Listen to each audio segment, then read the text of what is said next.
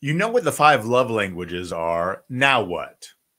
Just to have a little recap, let's review and make sure that you still remember what all five of those languages are. Because all five of these most important ways that you can express love to your partner make up the language, not just their number one. If you're only using one of those five ways to express love to your partner, then you're missing out on four other ways that you can lovingly communicate and serve and respond to your partner.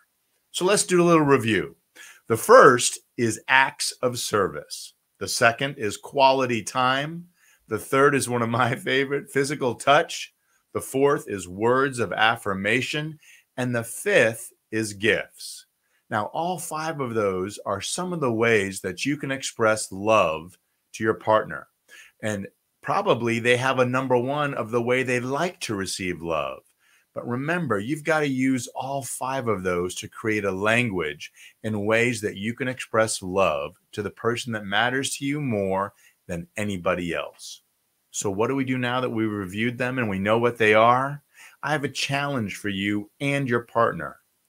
Take turns planning on activities that hit their most favorite or second favorite love language, and then go and do them together if their experiences, you're not only showing them that you love them, but you're getting an opportunity to renew the bond that brings you together.